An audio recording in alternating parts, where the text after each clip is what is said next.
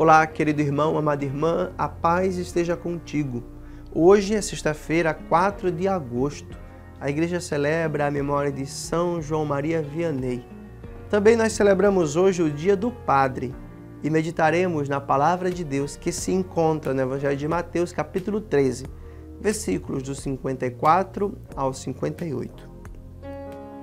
Naquele tempo, dirigindo-se para sua terra, Jesus ensinava na sinagoga de modo que ficavam admirados e diziam: De onde vem essa sabedoria e esses milagres? Não é ele o filho do carpinteiro? Sua mãe não se chama Maria e seus irmãos não são Tiago, José, Simão e Judas? E suas irmãs não moram conosco? Então, de onde lhe vem tudo isso? E ficaram escandalizados por causa dele. Jesus, porém, disse: um profeta só não é estimado em sua própria pátria e em sua família. E Jesus não fez ali, não fez ali muitos milagres porque eles não tinham fé. Palavra da salvação, glória a vós, Senhor. Hoje não é diferente do tempo de Jesus. Ainda é muito difícil falar de Deus, principalmente entre aqueles que nos conhecem há muito tempo. No caso de Jesus, são João Crisóstomo, por exemplo, comenta que os nazarenos admiravam-se dele, mas essa admiração não os levava a crer, mas os levava a sentir uma espécie de inveja, como se dissessem: por que ele e não eu? Jesus conhecia bem aqueles que, em vez de ouvi-lo, escandalizavam-se por causa dele. Eram parentes, amigos, vizinhos, pessoas que talvez ele apreciasse, mas justa, justamente a eles não chegara a mensagem da salvação. Uma pena. Talvez porque tivesse um coração fechado. Por isso, meus queridos, conosco não pode ser muito diferente. Quando estamos cheios de nós, nós não damos espaços para Deus. Nós queremos ser o Deus de nossas vidas, o Senhor de nossas decisões e de nossas verdades. Às vezes, na caminhada com o Senhor, também nós nos deparamos com pessoas difíceis que sentem inveja ou ignoram a nossa fé, que não nos acham dignas ou que, por conta da nossa condição, querem ficar um pouquinho distante. Nesse sentido, nós devemos recordar também que as pessoas veem mais os defeitos do que as virtudes.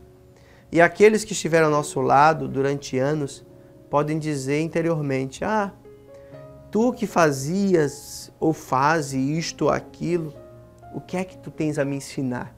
O que é que tu tens a pregar ou falar de Deus entre as pessoas né, do nosso meio familiar? Mas, meus queridos, é sempre necessário falar de Deus. É preciso dizer que Jesus, quando ia à casa, estava precedido pela fama de seus milagres e de sua palavra. Por isso, talvez também nós precisaremos estabelecer um pouco da fama de santidade por fora e também por dentro de casa, antes de anunciar às pessoas a palavra de Jesus. Dificuldades elas sempre haverão. Não percamos a paz diante das frustrações, principalmente daquelas frustrações do apostolado, porque a nós cabe anunciar e converter aí é papel do Espírito Santo.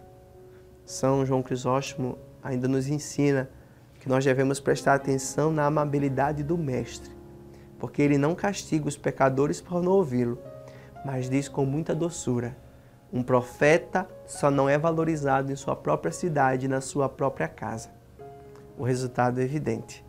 Jesus, obviamente, se entristecia por isso, mas continuaria suplicando para que a sua palavra salvadora fosse bem-vinda no seu povo.